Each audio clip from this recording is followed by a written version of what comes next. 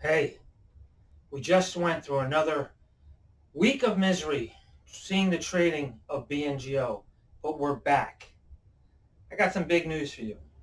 Last night, I was uh, kind of closing things up around here, and uh, I got a message. And the message was some from somebody special. Matter of fact, it was from Eric Holmlin.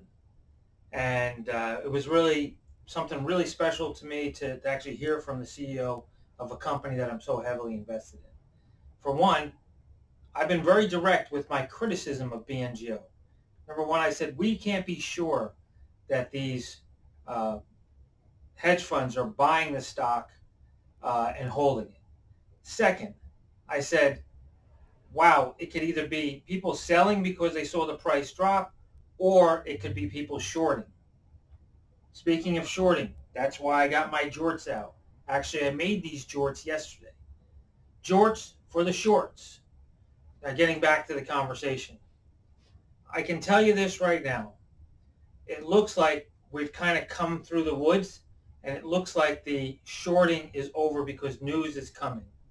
Now, why would Eric Holmlin contact a roofer with a million shares? I'm just a roofer. This is my thoughts. I think he contacted me because he heard the things I was saying. He heard that I said, hey, Eric, I don't think you're a very good presenter. Maybe Oldakowski should be presenting. He heard, hey, you have the CFO from Tesla. Maybe he should talk about the finances only. And he probably heard that, hey, I'm glad you're in charge, Eric. I really appreciate it. Now, Eric, I'm going to tell you straight out. Thank you, thank you, thank you for contacting me. I'm going to keep this simple. Eric contacted me with one simple message.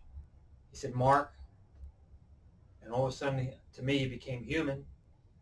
I hope you recover from your heart problem. That to me brought a new vision, a new humanity to BNGO. Because as we all know, Eric is really not that soft around the edges. He's just kind of straightforward and he keeps on the subject of what BNGO can do regarding structural variations and their equipment.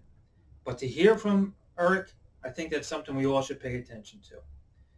Read into it any way you want. I think that the things that I've been saying are probably something, even what I said about how I think something big is coming from BNGO. Now, I don't really know anything. I'm a roofer. As a matter of fact, I'm going to tell you this too. Last video, I said I'm not going to do any more roofing. Yikes, I was on three different roofs today. I just can't stop myself. But that's really going to stop. So getting back to this, Eric Holmlin contacting me is big news for all of us because he's listening. That's what you have to know. He's definitely listening to people like me that make complaints. A lot of the YouTubers you listen to, they only want to tell you the good things. But I ask questions. I ask a lot of questions because I've run a business for 42 years. Listen, guys, have a great weekend. I'll see you next week, and let's hope BNGO goes to the moon. Again, this is not financial advice. Don't take anything I say as advice.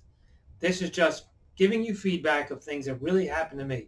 I'm only going to tell you the truth. I'm trying to get Newsweed off the ground. I just spoke to Adam uh, from New York City. He called me up on my 215 219-7699 number.